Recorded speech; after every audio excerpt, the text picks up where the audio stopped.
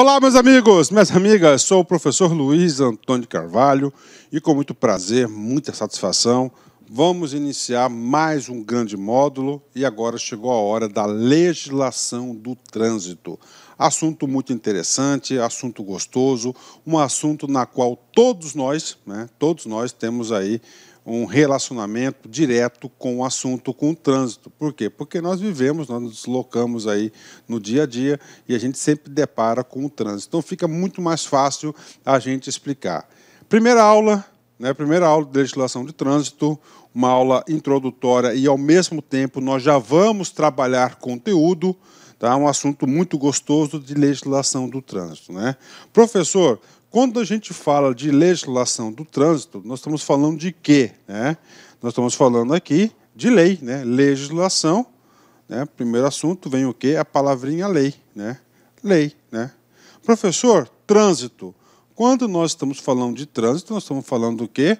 Do Código de Trânsito Brasileiro, que é a principal legislação. Ou seja, legislação do trânsito nosso fio condutor de nossas, da nossa aula será a Lei 5.503, de 23 de setembro de 97, que é a lei que instituiu o nosso devido Código de Trânsito. Né?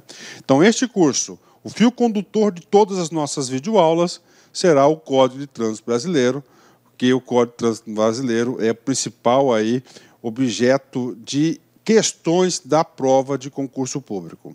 Pode ter certeza absoluta que no final do curso, se você assistir todas as nossas videoaulas, você vai ficar muito competitivo.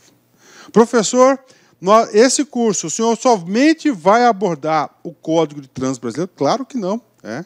O Código de Trânsito Brasileiro, o CDP, CTP, aliás, vai ser o quê? O fio condutor. Tá? E aí, professor? E aí, no decorrer do curso, tá? Sempre que necessário, nós iremos aprofundar e fazer um reforço pedagógico com as resoluções do CONTRAN. O que, que, é o, que, que é o CONTRAN? O CONTRAN é o principal órgão aí normativo do, do Sistema Nacional de Trânsito, CONTRAN, a gente vai estar estudando. Ou seja, você vai ter um estudo completo. Professor, que mais? Gente, este curso pode ter certeza que vai te deixar muito competitivo. A gente vai abordar 100% o Código de Trânsito Brasileiro. Nós vamos abordar as principais resoluções do CONTRAN. Né? Prof, por que, que o senhor disse principais? Porque nós temos aí centenas e centenas de resoluções do, do CONTRAN. E a gente vai abordar as principais resoluções, claro, aquelas aí que são cobradas em concurso público, a gente vai trabalhar. Tá? Prof, é uma lei, sim, é uma lei, né? Lei 5.503 de 97. É somente essa lei? Não. Né? Nós iremos abordar essa lei e mais as suas alterações. Muito importante isso aqui, gente. Preste muita atenção. Essa lei, Código de Trânsito, claro, trata de trânsito. Né? Trânsito é um assunto complicado no Brasil. É um assunto bastante complexo. É um grande desafio que o Brasil tem aí em relação ao trânsito. O que, que significa dizer? Significa dizer que essa lei 9.503 de 97 é uma das leis que mais foram autorizadas, é, alteradas aí no decorrer da sua vigência, dada a complexidade do trânsito. Ou seja, quase todos os anos nós temos aí alterações no Código de Trânsito Brasileiro. E este curso, você pode ter certeza que este curso aqui é um curso super atualizado, é um curso aí que nós temos aí, é um curso perene, né, permanente aqui da Lá Concurso, na qual eu, professor Luiz, eu abracei a legislação do trânsito e você pode ter certeza. Por exemplo, olha só, ah, eu gravei a aula hoje, né, terminei de concluir o Código de Trânsito Brasileiro, mais ou menos aí umas 40 videoaulas, umas 40 videoaulas que é a previsão de, desse curso aqui do professor Luiz. A gente vai estar trabalhando 40 videoaulas, um curso completo, muito competitivo, artigo aí. É, eu não vou dizer que são todos os artigos do Código Trânsito Brasileiro, mas é artigo por artigo, dos principais artigos aí que são cobrados na prova de concurso, teve uma alteração. E aí, professor? Aí pode ter certeza absoluta que essa parte que foi alterada tá certo? Que foi alterado, o professor vai fazer uma atualização no curso imediatamente, porque o nosso curso é 100% atualizado, né? Professor, vamos lá, primeira aula, então tem essa prerrogativa de explicar um pouquinho. Então a metodologia do professor Luiz, que a gente vai subdividir o máximo possível dos assuntos e cada assunto a gente vai trabalhar em uma aula específica, né? Este curso é somente teoria? Não. Este curso ele é teoria e exercícios. Então, durante todas as nossas videoaulas, pode ter certeza, em todas as nossas videoaulas, durante as aulas, nós estaremos resolvendo aí, resolvendo centenas de exercícios no decorrer do curso. Né? Então é um curso muito competitivo. Então, aula 1, legislação do trânsito. O fio condutor da nossa videoaula vai ser o Código de Trânsito Brasileiro. É, e a primeira aula chama-se Disposições Preliminares. Professor, disposições preliminares de quem? Do Código de Trânsito Brasileiro. Ou seja, nesta aula nós já iremos estudar do artigo 1 ao artigo 4 do Código de Trânsito Brasileiro, com certeza aí potencial questão de prova. Bacana? Feitas essas considerações iniciais, vamos começar o nosso estudo aqui de legislação de trânsito, em especial o Código de Trânsito Brasileiro. Né? Código de Trânsito Brasileiro é uma lei, está aqui, né? institui o Código de Trânsito Brasileiro, a Lei 9.503 de 97. Prof, já falou isso? Já falei. Vamos lá. Gente, papo reto. Tá? Papo reto. Se você assistir todas as nossas videoaulas de trânsito, se você seguir as nossas orientações pedagógicas, fazer os exercícios propostos, você pode ter certeza absoluta que no final do curso você vai estar muito, mas muito competitivo para acertar todas as questões de prova. Este aqui não é um assunto difícil. Isso aqui é um assunto tranquilo, não é um assunto complexo, é um assunto que tem uma lógica, tem uma racionalidade. Então, se você entender essa lógica, essa racionalidade e fixar os principais conceitos, ninguém segura você. Então, primeira orientação pedagógica. Gente, preste atenção. Essa é a primeira aula. Vamos estabelecer aqui um acordo entre as partes. Antes da gente prosseguir a nossa videoaula, eu vou pedir para você que você tenha em mãos, em mãos, a Lei 9.503 de, de, de 97.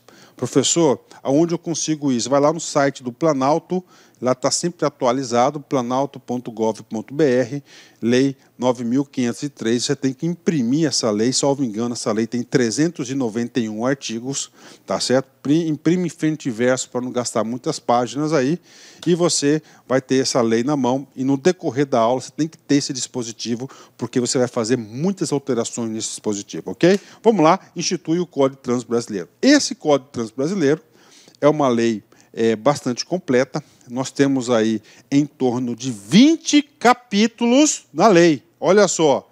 Então temos aqui, primeiro capítulo, disposições preliminares, artigo 1 ao 4, que nós iremos estudar nessa aula. Então, nessa aula, a gente já fez essa introdução e já vamos direto nas disposições preliminares, que nós temos aí a incidência de algumas questões de concurso sobre as disposições preliminares. Né?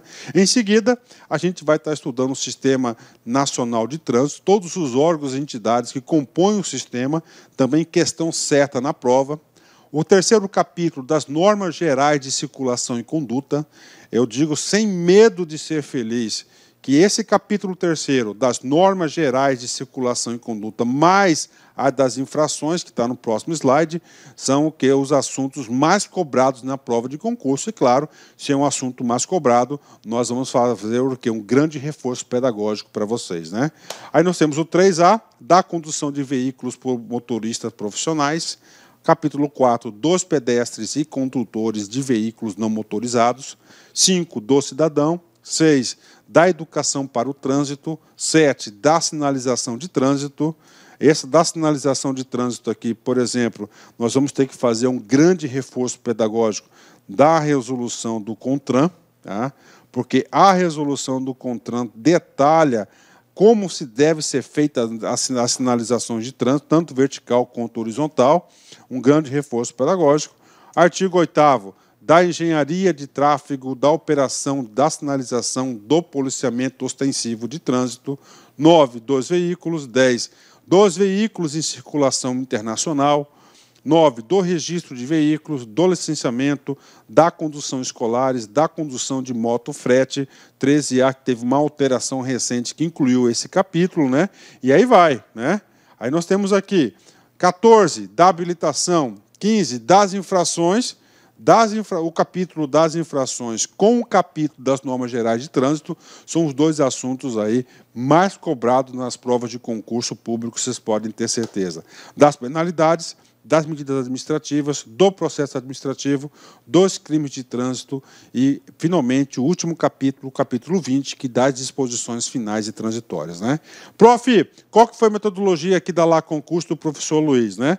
Nós, é, para tornar o assunto mais agradável, para potencializar a fixação do assunto, vocês já perceberam que no Código de Trânsito Brasileiro nós temos diversos capítulos, né? E para ficar competitivo, papo reto, cara, você vai ter que estudar tudo. Né? Tudo. Pode ter certeza. Então é o seguinte, para você ter uma visão espacial do assunto e para você se autocontrolar e monitorar o seu progresso nos estudos, o professor Luiz vai estar gravando assunto por assunto. Tá? Então, no total, tá, a gente está estimando aí que nós teremos esse módulo de trânsito em torno de 40 videoaulas. Cada videoaula, um assunto específico. Né? Professor, qual que é outra estratégia é isso? Isso, isso aqui também é para quê? Para que a gente sempre tenha um curso super atualizado. Por quê? Ah, alterou alguma coisa em relação ao capítulo do cidadão. Claro, do cidadão, eu vou pegar, eu vou analisar essa alteração, vou preparar uma aula com a alteração e vou regravar o assunto código é, do cidadão, por exemplo. Ou seja, garantia de sempre estar tá estudando com um assunto aí muito atualizado. Então vem comigo. Dar disposições preliminares, né? Disposições preliminares do quê? Ó, disposições preliminares, ou seja, iniciais, né? Iniciais referente o quê? Ao Código de Trânsito Brasileiro. Esse capítulo primeiro, para vocês terem uma ideia, o que, que nós vamos estar tratando desse assunto, ele tem quatro artigos. Né? Temos o primeiro artigo, que papo reto para vocês, que provavelmente vocês terão uma questão na prova do capítulo dessa da uma questão na prova você vai ter do capítulo 1, pode ter certeza. E do capítulo 1, uma questão na sua prova, você tem aí 80% de chance de ser cobrado o artigo 1 Então, o artigo 1 nós temos a cabeça do artigo, o caput, né? E nós temos aí cinco incisos, né? O primeiro artigo é, o caput do artigo, a cabeça do artigo, ele vai falar do princípio da territorialidade, ou seja, aonde que vai ser aplicado esse código de trânsito brasileiro. Né? Ah, professor, é simples, claro, é simples, mas tem alguns detalhes que o examinador gosta de explicar. Então, conceito da territorialidade, ou seja, onde vai ser aplicado o código de trânsito brasileiro. O parágrafo primeiro vai trazer o conceito de conceito de trânsito. Parágrafo 2 ele vai trazer os direitos e os deveres. O parágrafo 3 vai trazer a responsabilidade objetiva do Estado em reparar o dano. O parágrafo 4 foi revogado, a gente não vai tratar sobre ele. E a prioridade, a gente vai tratar das prioridades do trânsito no parágrafo 5. Então, esse aqui é o primeiro artigo, a gente vai trabalhar todos esses assuntos aqui nesta aula. Né? O artigo 2 ele vai trazer o conceito de vias terrestres, o artigo 3 e o artigo 4 vai falar da aplicabilidade da lei. Professor, qual lei? Código de Trânsito Brasileiro. Bacana? Então vamos lá. Primeiro, artigo 1 capítulo 1 das disposições preliminares, ou seja, das disposições iniciais importantes para fazer a gestão e para ter a eficácia do Código de Trânsito Brasileiro. Tá? Então, tudo aqui, você tem que pensar, Código de Trânsito Brasileiro. É a Bíblia, é a Constituição do Trânsito, é a lei máxima vigente no Brasil referente ao trânsito. O artigo 1 o caput, a cabeça do artigo, diz o seguinte, né? O que, que eu já falei? Professor vai trazer o princípio da territorialidade. Ou seja, aonde que esse Código de Trânsito brasileiro vai ser aplicado, né? Por exemplo, antes de ler este artigo, eu pergunto para você, para você dar uma resposta sincera para o professor Luiz. Reflita sobre isso. Você cometeu uma infração de trânsito no Chile. Aí eu pergunto, você vai estar sujeito as regras do Código de Trânsito ao carro brasileiro, você, condutor brasileiro, tá certo? Você adquiriu o carro no Brasil, viajou de carro até o Chile e lá no Chile você cometeu uma infração de trânsito. Aí eu pergunto, você estará sujeito ao Código de Trânsito brasileiro ou você vai estar sujeito ao Código de Trânsito chileno? E aí, claro, você vai estar sujeito ao Código de Trânsito brasileiro, tá? Vamos lá, só isso? Não, tem muita coisa aqui.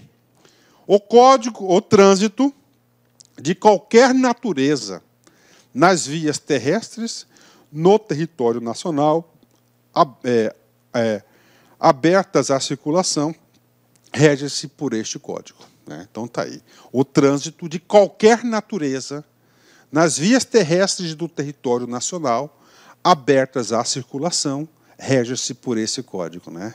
O trânsito de qualquer natureza. Professor, e aí, o que significa esse de qualquer natureza? Né? Qualquer natureza, por exemplo, trânsito de pessoas, olha aí, ó. Tá? Trânsito de pessoas, ó. Trânsito de veículos e trânsito de animais, por exemplo, né? Ó. Ou seja, o legislador ele trouxe um conceito de aplicabilidade amplo, né? Qualquer natureza, pessoas, veículos, né, animais e assim por diante. Vias terrestres. Professor, vias terrestres, né? Significa dizer, ó, no solo, né?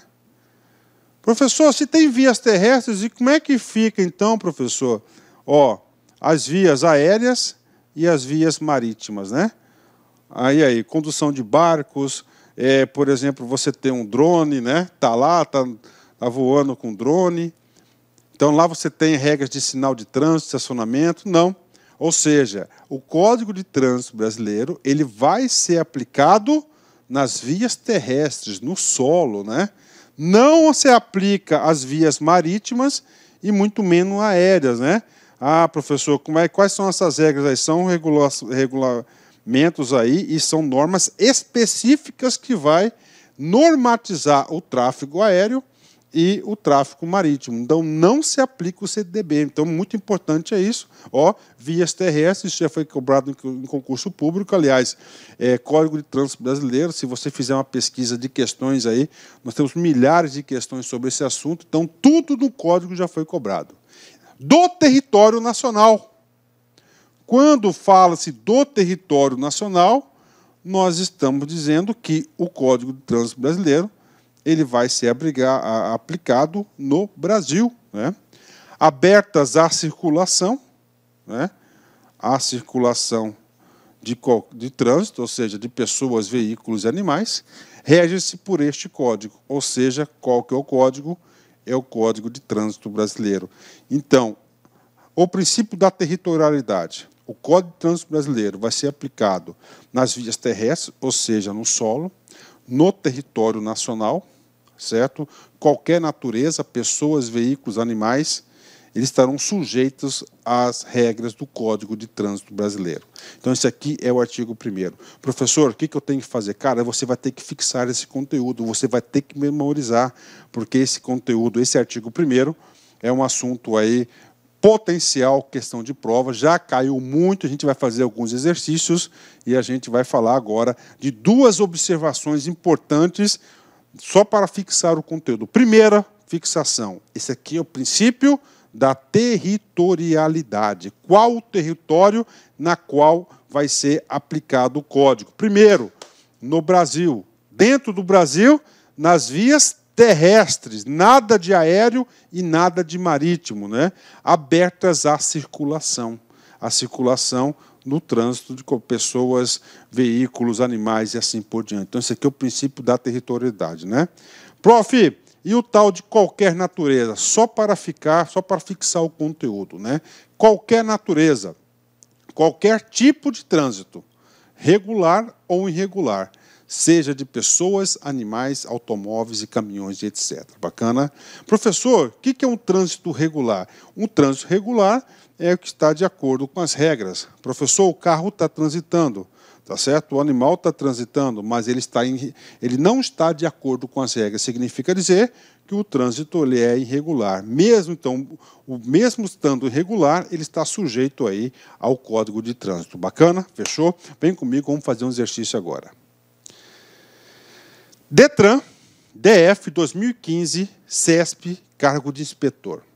O referido código aplica-se aos transportes marítimo e aéreo. Professor, qual que é o código aqui? Claro, o código que nós estamos referindo é o Código de Trânsito. Então, o referido código aplica-se aos transportes marítimo e aéreo. E aí, professor, falsa questão.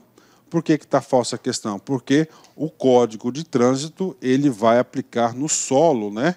Ou seja, ele vai ser no é, é, é ele vai ser no território, né? Terrestre, vai ser terrestre, não aéreo e não marítimo. Questão que cai muito em concurso público. Bacana, questão fácil, questão aí que aluno dá lá concursos, coloca no bolso é, facilmente. Né? Vamos lá, continuando. Olá, meus amigos, minhas amigas, eu sou o professor Lac e eu quero fazer um convite muito especial para você aí que é fã dos nossos vídeos no YouTube, para você que é fã do professor Lac, nós temos aqui uma isolada regular. Professor, o que é uma isolada regular? É um assunto muito importante, nesse caso aqui é, é o assunto da, do Código de Trânsito Brasileiro, o CTB, a Lei 9.503 de 97. Então, olha só, aqui na Lá Concursos, né, eu, professor Lac, eu tenho um curso, preste atenção, que eu gravo do primeiro artigo ao último artigo da lei. Artigo por artigo, cara, eu explico tudo sobre o Código de Trânsito. Ah, professor, é atualizado? Sim, é super atualizado. Tá? Super atualizado. Só para vocês terem uma ideia, a última atualização que eu fiz foi agora em fevereiro, tá? Terminei agora em fevereiro de 2022. Ah, professor, vamos supor que o curso em março de 2022, por exemplo, nós tivemos uma alteração no código. Fique tranquilo.